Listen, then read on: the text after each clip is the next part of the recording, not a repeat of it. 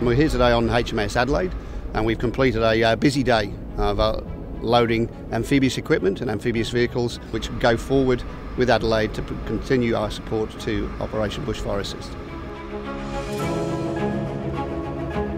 Uh, we have various members of the Australian Army here today loading engineer uh, heavy vehicles, light vehicles and LARCs onto the light landing crafts.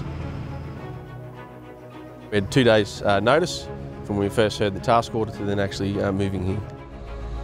We've got some additional engineering equipment from 6th Combat Engineer Regiment. It gives us ability to clear roads and be able to also conduct light vehicle reconnaissance wherever the state uh, authorities indicate that they may need assistance with clearance operations, we can uh, redirect those assets throughout not only New South Wales but the other states as well. Primarily, we can get the community back to normal to support the state authorities in delivering that um, response. The members that have appeared here from all the different units are quite happy to be here and uh, quite proud to be a part of this task force uh, to support the bushfire relief.